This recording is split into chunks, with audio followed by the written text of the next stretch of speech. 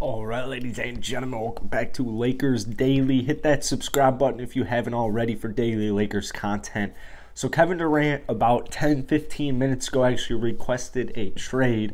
This video isn't about Kevin Durant coming to the Lakers, unfortunately, but this opens up the door because KD will be traded, Kyrie will be traded, and you know where Kyrie wants to go?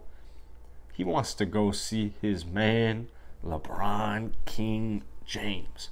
If you guys have been watching this channel this offseason, there is a 100% chance in my brain that Kyrie Irving ends up on the Lakers. And so we have a what who is this from? This is from Frederick Ennett at heavy.com. This is how Kyrie Irving could possibly get to the Lakers. It's a little paragraph. One NBA executive suggests a trade where the Nets trade Kyrie to the Lakers and get three time Defensive Player of the Year Rudy Gobert in return. You could do three teams Kyrie to the Lakers, Gobert to Brooklyn, and Russ to Utah, with the Jazz probably buying him out. That's a long shot, though.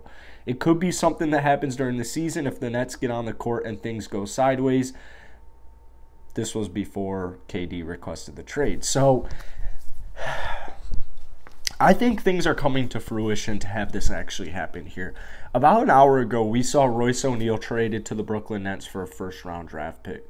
Shout out to the Jazz for getting a first round draft pick out of Royce O'Neale. It makes me think, you know, why didn't like Jerami Grant or Christian Wood get more than what they got? But at the same time, things change you know, this offseason starting to get real juicy. It was looking like it was going to be a relatively quiet offseason, and now it's getting juicy. But basically, we're about to see the destruction of both the Brooklyn Net roster and the Utah Jazz roster. And so, in a three team trade, Brooklyn, assuming they get rid, like, Brooklyn is going to be looking to get their haul from Kevin Durant, not Kyrie Irving.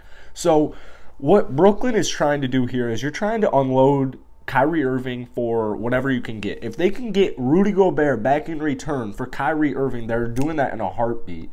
And from there, you have Ben Simmons and you have Rudy Gobert. And then in the Kevin Durant trade, whoever it's going to be, whatever team it's going to be with, that's where you look for another star, more scores, more depth, you know, that type of thing, more assets in general. So the reason I think this is such a th- this could like a re- this is a realistic possibility because Utah's blowing it up. Brooklyn's not blowing it up, but they're definitely retweaking their roster. And so Kyrie Irving it, it just makes so much sense in LA. And like I said, you're from the Brooklyn Nets standpoint, you're getting Rudy Gobert back in this trade. So really, Utah's the only thing, the only team that's getting shafted is Utah.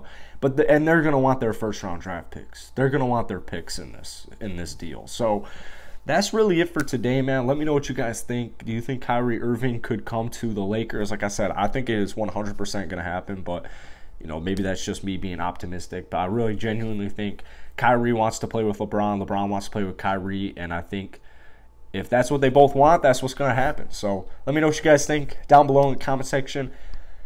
See you guys later. Peace.